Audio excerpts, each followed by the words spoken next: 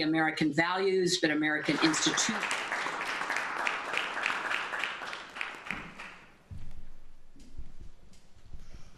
Well, thank you very much, everyone. This is a great honor. And I see you have social distance on your mind, and uh, that's a very good thing, Jovita. Congratulations, tremendous job you're doing. I want to uh, thank everyone for being at the White House, a very special house, a very special place, no matter where you go in the world. I love the White House, and uh, being here in the East Room of the White House in particular, where so many important functions have taken place over the years. And today we're really celebrating American workers and small businesses, and we've done a job for you, and we're going to make it so as we open up our country, you're going to be in good shape as opposed to be either losing your business or how do we get some people to work here, especially since your employees were so good over the years, and those are the ones you wanted. So we made that possible for you. We're delighted to be joined this afternoon by representatives of several incredible small businesses from across our country. Also with us, our Treasury Secretary, Stephen Mnuchin. Steve, thank you very much. And SBA Administrator. You've been busy, Steve, by the way? a little bit, right? Broke every record in the book. And SBA Administrator Jovita Carranza. Thank you, Jovita. Have you gone to sleep in the last two weeks? I don't think so, right? You broke every single lending record, numbers of loans, amount of loans, small business. It's actually a very big business when you think about it. Thank you very much, Jovita. Great job. As our nation battles against this terrible scourge, we continue to pray for the victims as well as for those Americans who are grieving their lost ones and their loved ones. There's never been anything like this. We suffer with one heart, but we will prevail. We're coming back and we're coming back strong. We built the greatest economy anywhere in the world two months ago, and we're going to build it again. We're going to build it fast. It's going to go very quickly. And Larry, thank you for being here very much. Uh, it's uh, you see what's going to happen. I think you have the same feeling as I do. It's going to come back very fast. Now that our experts believe the worst days of the pandemic are behind us, Americans are looking forward to the safe and rapid reopening of our country. Throughout this ordeal, millions of hardworking Americans have been asked for, to really make tremendous, tremendous sacrifices. It's sacrifices like nobody thought would even be possible. Nobody thought would ever be talking about something like this. This virus has inflicted an enormous and painful toll on our nation's workers and small businesses. That's why last month I asked Congress to pass the Paycheck Protection Program, giving small businesses emergency economic relief to keep workers on the payroll. Four weeks ago, I was proud to sign it into law. We did that at a great ceremony with many of the people here and the officials here, and uh, it was something. And I can tell you, I'm going to ask Steve to say a few words, but the, the kind of numbers and the kind of jobs they've done and the kind of jobs that have also been saved, it's uh, incredible. You'll be seeing that in the coming weeks.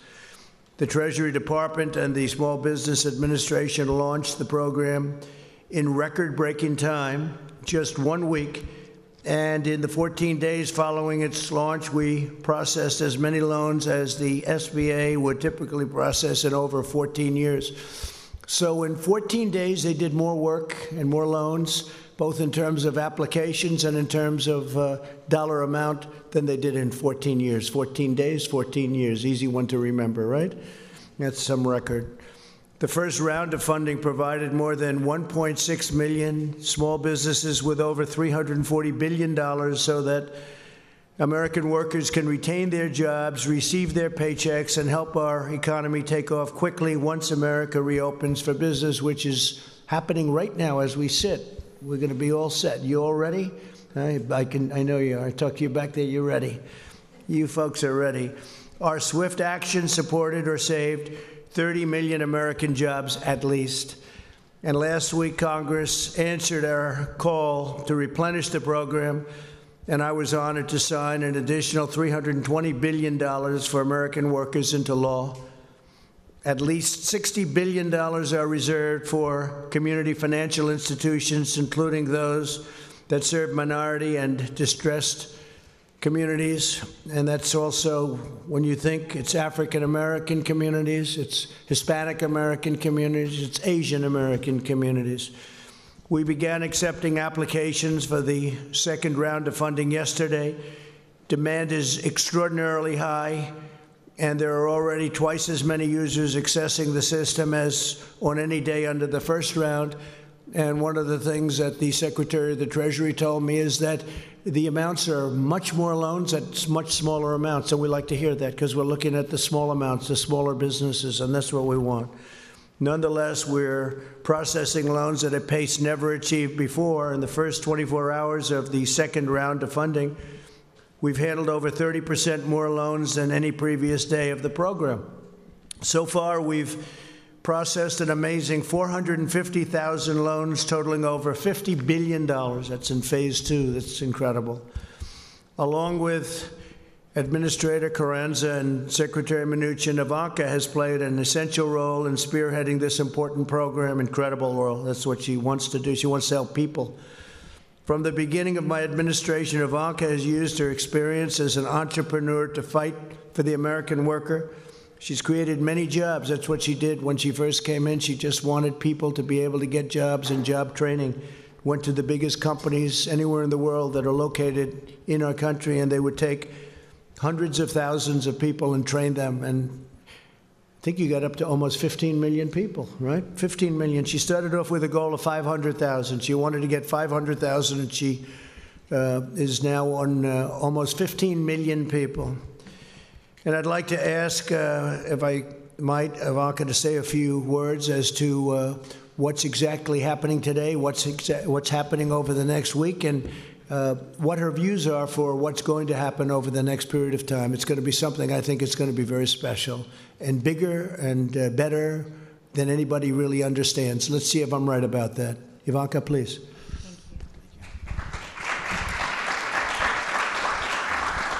Well, thank you, everyone, and, and thank you, Mr. President, for convening this incredible group of entrepreneurs and small business owners who very much represent the soul and the spirit, the, the grit and the tenacity of America's small business owners across the nation. So we're grateful to each and every one of you for, for joining us here today and very excited to hear your stories and hear specifically about how you're going through this challenge and how through the payment protection program and through the PPP you are able to keep your workforce employed. It's it's about your businesses thriving and growing within your communities. It's about your workforce who each of you cares very dearly about. And I'd like to make a, a special um, call out of, of thanks to Secretary Mnuchin for his tireless work on this front. Um, so if you'd like to come up and join us, it, we would appreciate that, Secretary. And SBA Administrator Carranza, thank you. You have been such a champion for America's small business. If you'd also like to come up and join us. Um, and, and Larry Kudlow, um, thank you for, for all that you do in fighting for, for American workers. With that, I would like to kick us off by introducing Amy Wright to come up to the stage and share with us a little bit of her story. She has created an amazing business that, that stemmed from personal experience and, and very much her, her heart. And it's been an honor getting to know you, Amy, as you really embody the spirit of, of small businesses around this country.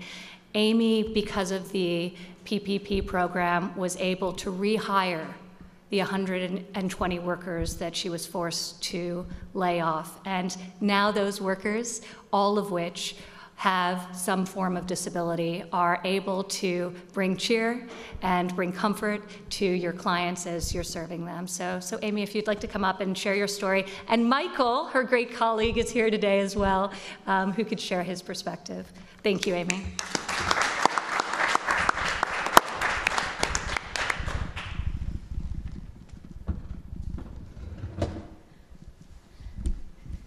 Thank you, Ivanka, Mr. President. I'm so honored to be joined by my employee, Michael, who you will hear from in just a moment. Bitty and Beau's Coffee is more than a coffee shop. It's a human rights movement. We employ 120 people with intellectual and developmental disabilities, and for most of them, it's their first paying job, which made the decision for us to temporarily close all five of our shops especially difficult.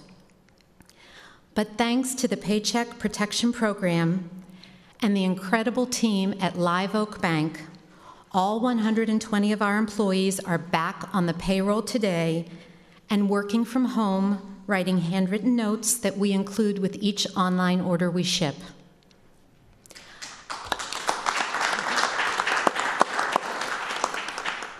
I know everyone is ready to return to normal, but I believe it's time for a new normal. One where people with disabilities are valued, especially in the workplace. As a recipient of the PPP loan, we will continue to take up the charge and help everyone, especially people with disabilities, pursue the American dream. And Michael, would you like to say? Sure. Just hope this thing isn't too big for me. So, to you, President Trump and Ivanka, thanks a lot for inviting us. Thank you, Mr. President, for having us. I love my job and I am excited about going back to work. At Bean Bros, we like to use the phrase called not broken.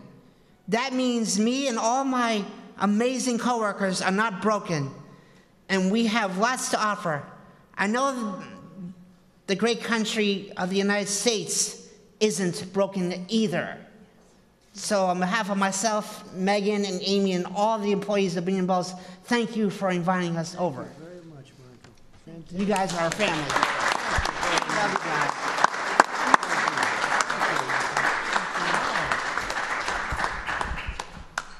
That's better than we did. Much better, Michael. You did a better job. Thank you very much. That's beautiful. Stick around. You get to hear the press ask some questions, and they'll probably be a little bit nicer if you're in the audience, right, Amy? That's pretty good. Also, I'd like to ask Tony Stafford, Chief, uh, very uh, sort of the boss, I guess you could say, chef and founder. Uh, you're the boss, right? Wouldn't you say? Of Ford's Fish Shack. And I hear it's good stuff. How about explaining, please? Best, oh, I'll have it. Be careful. Thank you. Come on up, please.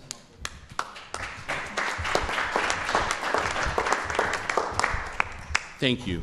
Uh, I'm here representing, well, thank you, first of all, for inviting me, inviting Mark, my great employee, with us. Um, we're here representing the restaurant industry, which has been really hurt hard by this with the closures and things like that. So I'll keep it brief. Um, I'd first like to thank the president and the vice president for leading us through that pandemic. Um, it, is, it has devastated our restaurants. Over the last six weeks, my three restaurants have been devastated. Dining room closures had to furlough over 100 people. That was an incredible, hard phone call to make about six weeks ago and tell the employees I've never had to lay off a single employee that I just don't have a space for you. Uh, we just don't have, you know, the restaurants are closed, and, and it was just extremely hard, and it was very emotional, and it was one of the hardest th- choices I ever had to make. So um, it, it was tough, but I, I promised every employee we would do our best to bring them back, and we would fight every day, tooth and nail, to get them back into uh, the restaurants and be successful like we were the 10 years before all this terrible stuff happened. And now, with the help of the PPP loan and the um, the success of the PPP loan that we were able to get, I'm going to be able to keep that promise and bring every one of those employees back. So thank you, Secretary Mnuchin. Thank you. And it was, it's been awesome to be able to tell them that we're going to, we're to weather this storm, we're going to get through this, and we're going to be stronger and, and more agile once this is over. The one thing that you can see with the restaurants, we're surviving out there. We're doing things that we didn't do before with carryout and curbside and delivery and all those meal plans. Those things are awesome to see my fellow uh, industry uh, leaders out there doing in the restaurant industry. So I commend every one of those restaurants that's fighting to survive out there. And so thank you all for that. Um, we will get through this. We will welcome our guests back. And we, once our state opens up, we'll welcome them back and thank them and thank them for their support through all this. I have amazing stories of guests coming into our restaurant the day after the closures to just give us tips, give us cash to give to our employees we had to furlough. So those great stories that will not be forgotten from any of our guests. So thank you for that. And I look forward to the one day when all restaurants and all small businesses can reopen and be as successful as they were before. So thank you very much. Mark? You. Thank you. So my name is Mark Underwood. Uh, I am an employee of Ford's Fish Shack, so I am a living example of what your plan has done. Uh, I'm a husband, father of five. My mother lives with me. And just listening to Tony talk about that day when the layoffs happened, it's a little emotional.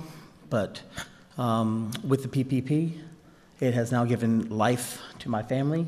Uh, it has injected hope in our business, and uh, it's allowing us to fight the fight. So I appreciate it from everybody on your team uh, to help us get through this issue that we're going through. So thank you very much. help you. Thank you. Is he a great chef or a good chef? He's a great chef. Thank you very much. Thank you. Thank you. Larry. Thank you. Thank you. That's great. That's a great story. Your mother lives with you, five children. That's a great story. So that was a rough day, right? Wasn't it? huh? Never happened to you before, probably. Yeah, happened to a lot of people. It never happened before. So, but we're bringing it all back. Uh, you know, there have been a couple of places that have opened, and uh, I don't know if you saw this, Tony. They have some restaurants, and they have lines that are very long to get in. People want to be back. They want to come back. We're going to bring a country back. They want to get to work. And I know you were in that category very much, so it's great. Thank you, fellas, very much.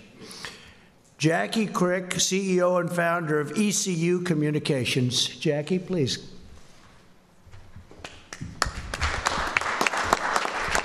I'll move that down, Jackie. A little short.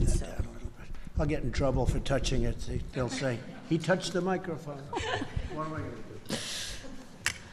Thank you, Mr. President, Ivanka, Secretary Mnuchin, and Administrator Carranza. It is a pleasure and an honor to be here. My name is Jackie Krick. I'm originally from Bogota, Colombia, in South America. Yay. And um, I've been here many years, and a big part of those years that I've been here, I've been CEO of ECU Communications, which I founded 16 years ago. We uh, focus on advertising and marketing with niche products for uh, uh, diversity recruitment and outreach programs. But more than anything, we're a woman-owned small business, minority-owned 100%. So just like many of the stories that I've heard before me, and I'm sure the ones that are coming, uh, we are concerned about the future. And being able to get that PPP loan has given me and my staff uh, a little peace of mind to know that we're going to be okay. Just in, at the end of February, I hired three more staff members. We're 30 now. So when we heard the news about going home and working from home or not being able to work from home, you know, the first thing that goes, goes to your mind is how am I going to support or tell these folks that they need to go? Being able to get the PPP loan has given me the, the, the ability to have that peace of mind that I'll keep them, their treasured staff, and I'll be able to continue to focus on my program. Thank you so much for what you do, for your leadership. Thank you. Great job. Thanks. Thank you, Jackie. Great job. Chris Stansbury, co-founder and partner, West Virginia Eye Consultants. I like West Virginia, you know. I like it. We'll put that up. Like you, sir. I like it. They like me, too. Thank you, Mr. President. Thank you, Ivanka, uh, Mr. Secretary, uh, Madam Administrator. Appreciate the opportunity to be here today. It's uh, just an honor and a privilege as a small business owner. It's very meaningful uh, to have this opportunity. My company is called West Virginia Eye Consultants, based out of Charleston, West Virginia. And we started in 2011, and we had two doctors, one employee, and one location. And over the last nine years, we've been blessed with a lot of growth. We've worked hard. And in February, we celebrated our ninth anniversary with seven locations, seven doctors, and almost 60 employees. So it's, it's been a great ride. Uh, but just a month later, thanks to COVID 19, we shut most of it down. And my partners and I were just overwhelmed, just bewildered. We weren't sure how we were going to survive this. Uh, but thankfully, Congress passed the CARES Act, and President Trump signed that into law. And as part of that, the PPP loans became available. And my partners and I applied for PPP loan through the SBA, and we were so gracious and so, so thankful to receive that because it's been a lifeline for us. As soon as we received those funds, we were able to start paying uh, our utilities, our rent, and start bringing some of those employees back that we need to get staged to begin to reopen the economy. And so we're just so grateful for President Trump's leadership and uh, Congress for working with him to get us through this crisis. So thank you so much, sir. We appreciate all your help. Thank you. So you do eye examinations, doctor? And you do uh, glasses and all that?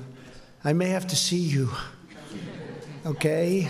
I guarantee you're probably better than these high priced people. I used to see the highest priced, and they were not the best. I'll bet you're better than all of them. So I may have to see you, doctor. I'm serious about it. We can do something quickly, all right? You go, you move quickly too, right? No long meetings. Good. I may have to see you, doctor. Thank you. Uh, Tisa Clark, President and CEO, J.D. Clark Professional Services. J.D. Clark. Hi, come on up. Please.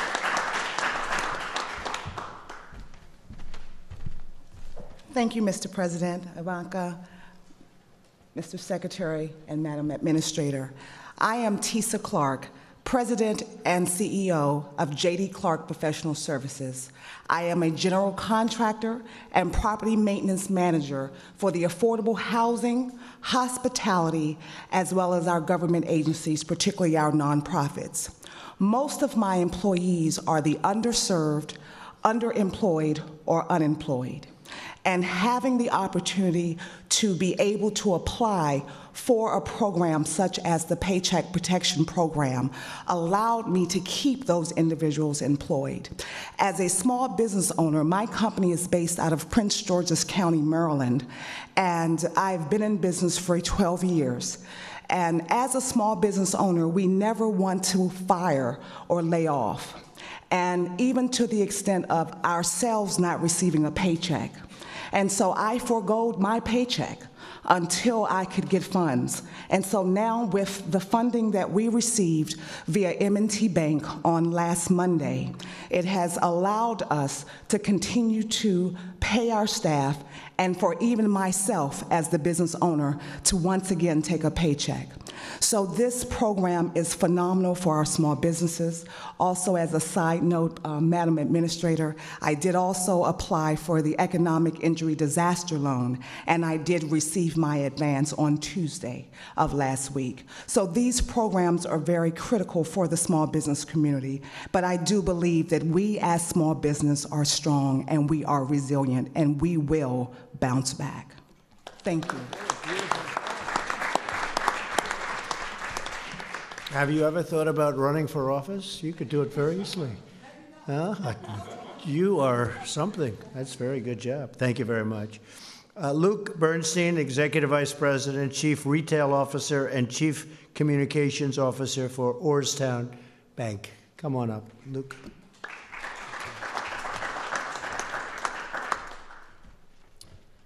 Thank you, Mr. President. Ivanka, Secretary Mnuchin, Administrator Carranza. I'm Luke Bernstein, proud to be here representing Orrstown Bank. I'm proud of our board, I'm proud of our entire team, and I'm proud of my fellow community bankers throughout the country who've rolled up their sleeves and worked tirelessly to help communities working around the clock and helping them gain access to paycheck protection funds. Orrstown is a small 101 year old community bank based in Pennsylvania and Maryland. And in just 14 days, we were able to process approximately 1,500 paycheck protection loans totaling $370 million. In those two weeks, Orrstown processed more loans in total amount than we did in an average year last year. We did more SBA loans in 14 days than in our entire 101 year history. Why? Because this is about communities. This is not about Orrstown Bank. This is not about banks. This is about people. The stories you're hearing today. This is about what's going on in Main Street. The stories of what's happening with the Paycheck Protection Program are not only heartwarming, they're inspirational. We're helping pizza shops, delis, healthcare workers, repair shops, construction companies, and countless others get access to these funds. These people need this money. They're getting a lifeline through this program. Every job is life sustaining to someone, and the PPP is saving the livelihoods of those in our communities. We want to thank you, Mr. President, for your leadership during this extraordinary and unprecedented time, and for partnering with community banks and Congress to help us and give us the opportunity to do what we do best, and that's serve our communities through the good times and the bad. You have unleashed the innovation of the private industry, and we are going to respond. We also want to thank Secretary Mnuchin and Administrator Carranza and Congress for supporting this program and giving the opportunity to community banks around the country to join together and help those in need. With this program, we can do that. Thank you, Mr. President. Thank you. Thank you very much, Luke. That's a beautiful job. Brandon Hudson, President, Ed and Jim's Body Shop. I know what that means. I'll bet you fix beautiful cars. You make them beautiful, right? I'll bet you do. Please come up. Thank you, Mr. President, Ivanka, Secretary. And uh, instead of celebrating on our anniversary on April 1st of being in business, uh, we began furloughing employees. So I would like to take the opportunity to thank President Trump for quickly signing uh, the PPP into action. Because of this program, Ed and Jim's is able to rehire all of our furloughed employees and provide them with a paycheck starting this week. This program has given our small business the funds needed to operate and maintain through this crisis. With everything we've gone through, I can't extend our thank you enough to President Trump for everything he's done for small businesses like us in the automotive industry at a time where our business really depends on people leaving their house and driving. So, Mr. President, thank you very much for what you've done, for what you've done for us and the industry. Thank you. Thank you. And what do you do with cars? Explain. maybe. Uh, Our businesses, we repair cars. We're a collision repair shop, Parkville, Maryland. So uh, we work with a lot of insurance companies. We have walk-in customers. So if you get into an accident, unfortunately, we're here to help you out. Can you generally fix, like when there's a problem with a car, can you generally fix it without sending for new uh, Yeah. pieces? Or do you generally have to put new pieces on if it's a big It, de- collision? it depends. On a big collision, we're mostly probably replacing some stuff, but we can repair a lot of things. So, uh, you know, we've been fortunate enough that we are able to repair a lot of things, but, you know, with the demand for manufacturers to move to producing other things such as PPE and things like Right. that, you know, we're a little nervous about what that means for the future for us right now. But, you know, we know Well, now you'll it's do the gonna right, be great. you'll do the right thing for us. After today, you'll have a lot of customers. We appreciate you, sir. Fantastic. Thank you. Thank you very much. Thank you, Brandon. Thank you, Brandon. Ally Mills, Executive Vice President, Plum Contracting, Inc.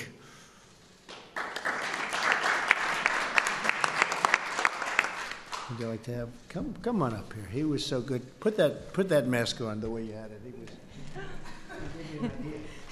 Thank you, President Trump, Ivanka, Secretary, Madam Administrator. I am here representing the highway industry. Plum Contracting is a third generation union highway and bridge contractor in Pittsburgh, Pennsylvania. With Pennsylvania's winter construction shutdowns, we have been left with little revenue coming into a new season. COVID 19 abruptly halted all highway work on March 16th in our state. With very little revenue at this point of the season, we were forced to sadly lay off a majority of our employees, about 125, which included trades and management.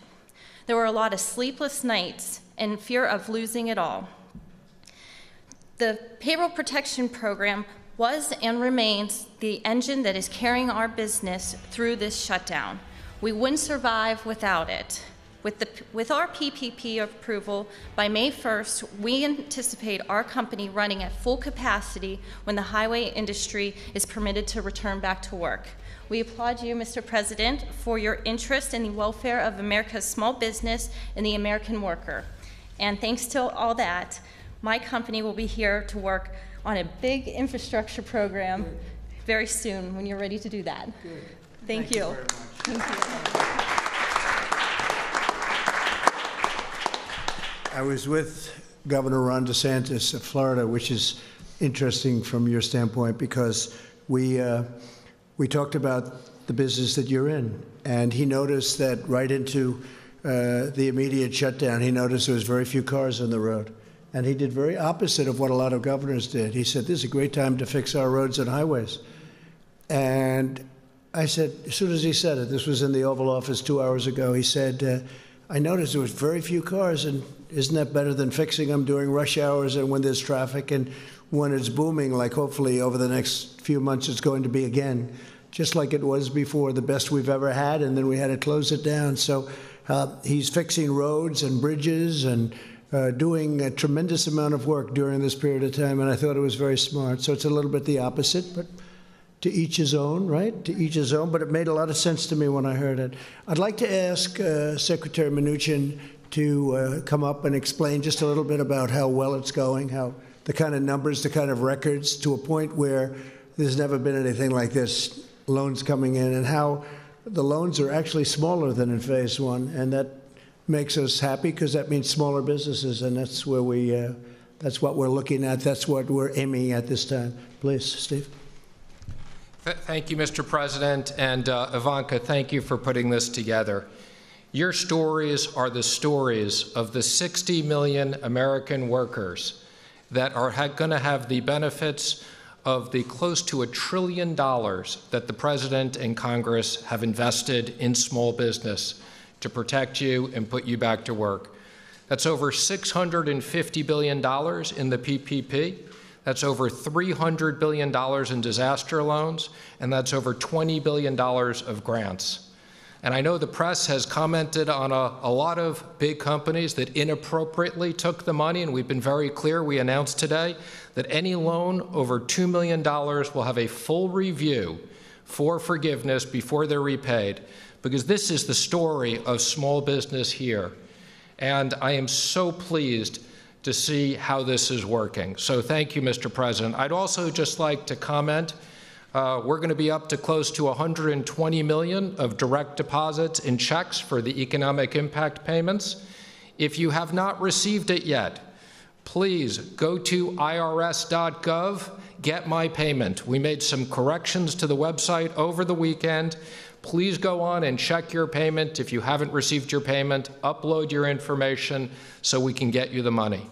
The combination of the direct payments, the PPP, the disaster loans, and enhanced unemployment insurance is the investment that the President has made in American business and American workers. Thank you, Mr. President. Thank you very much, Steve. Very much. And on the enhanced, thank you.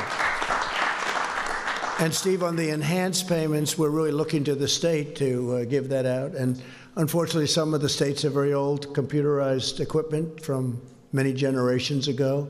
Uh, but uh, they have the money to give out, and they'll give it out as it comes, and hopefully they'll be able to do the job. Some states have been very efficient, and others have had a hard time. But you'll work with the ones that have had a hard time. But we rely on the states, and we are relying on the states to get it out as quickly as they can, considering especially some of the equipment they have. Maybe now they'll be able to buy new equipment, right? When we get all finished, we'll have nice new computerized equipment so they can do it. Uh, with that, if you'd like to ask a few questions, I think this would be a good time because with these